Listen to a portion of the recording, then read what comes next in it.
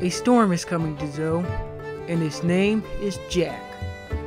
In the last chapter of One Piece, you learned that Momonosuke's father had been a crew member of Roger's who also went to Raftel with him. It's revealed that Kaido had assumed that Kaimon and the others had information about the secret history of the world, but Momonosuke's father had never revealed that info to them. It also turns out that the shogun of the Wano country and Kaido have joined forces and are oppressing its people. I swear, Oda is a genius at setting up arcs. I cannot wait for the next two arcs coming up. A small rebellion has started in Wano, but its army is greatly outmatched by the forces of the Shogun and Kaido. In order to increase their strength, Kaimon and Co. left Wano and went into the world to search for people to help them. Their first place to look was Zou.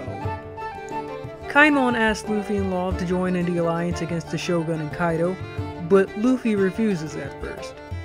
Luffy refuses at first because Momonosuke's own helplessness. Momonosuke declares after having a flashback of what happened in Wano that he also wants to beat Kaido and pleads for Luffy's help. In turn, Luffy gladly accepts the alliance with no consent from Law. Poor Law, always having to deal with Luffy's crap. Luffy states before he can do anything in the alliance, he needs to get Sanji back, greatly exaggerating Sanji's strength by saying, "Oh, he's he's worth a thousand men."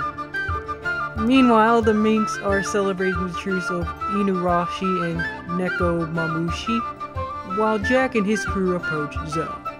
The chapter ends with Jack saying he will kill the elephant. One Piece chapter 819. I have to say, it was great. I am really hyped up for the next arcs coming up after this one. Now we got a triple alliance called the Ninja Pirate Mink Alliance, as named by Luffy. Luffy is going to face Big Mom soon, though Luffy says he won't fight her. We all know he will. He can't help it. And now Jack is coming to Zou and ready to wreck the place.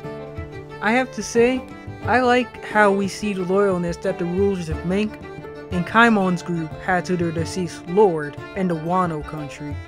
They even shout out their objective of freeing Wano in unison. I also like the part with Luffy and Momonosuke, especially when Momonosuke admits his own helplessness.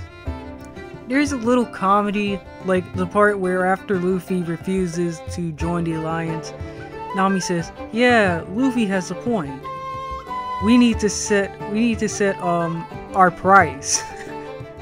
I mean, I was, I was just like, wow. But there's also another part where after Luffy says Sanji's like worth a thousand men, or something like that, Zoro says, "I'm worth I'm worth much more than Sanji."